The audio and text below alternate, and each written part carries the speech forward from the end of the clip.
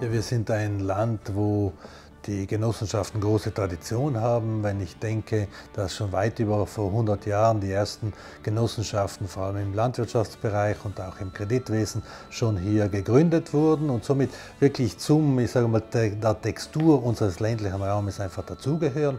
Mittlerweile gibt es viele andere äh, Genossenschaftsformen, die sozialen, die Arbeitsgenossenschaften und vieles mehr, wo eben moderne äh, Modelle der Bedürfnisse der modernen Welt jetzt wirklich äh, hervorkommen. Ich denke an Dienstleistungsgenossenschaften und vieles mehr. Deshalb die Genossenschaftswelt ist ein sehr wichtiger Teil äh, unserer Bevölkerung, der Gesellschaftsstruktur in Südtirol.